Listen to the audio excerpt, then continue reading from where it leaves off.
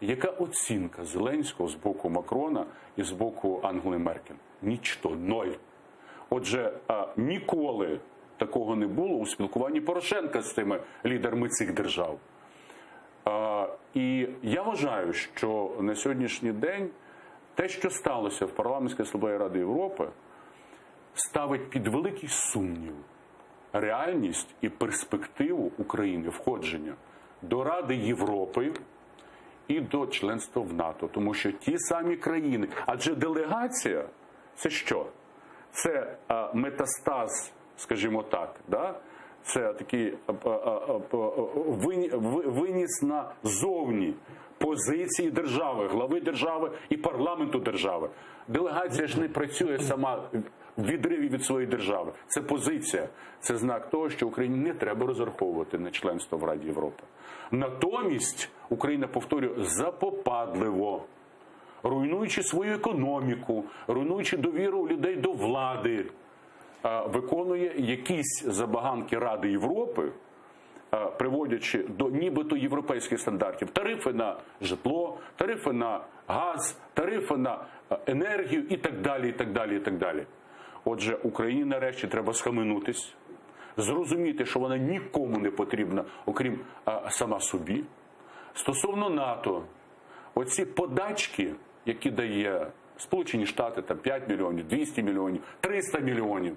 Я у вас в студії говорив, я був єдиний депутат Верховної Ради України, який голосував проти здачі ядерної зброї, третього у світі потенціалу. Я коли працював радником, особистим радником Секретаря Ради національної безпеки і оборони, е, і готував доповідь секретаря в Польщі на 20-річчя е, національних членів Ради Європи, е, Рад безпеки і оборони цих країн.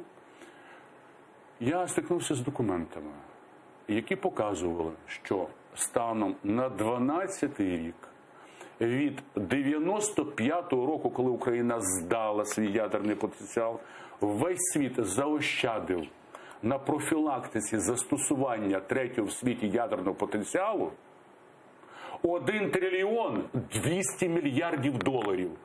Це соізмірімає співставимі цифри з тими подачками, які дають Україні? Ні. І Україна ніколи не ставила питання про членство, постійне членство в Раді безпеки ООН. Ніколи. Україна соромиться. Ми єдина країна в світі, яка позбулася ядерного потенціалу. Розділіться і нас поімели. Даруйте на такому слові, але це правда.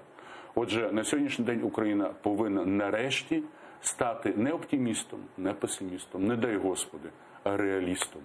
Але Зеленський на це не здатний. На жаль, на це не здатна і та кількість більшість українців, які голосували за нього.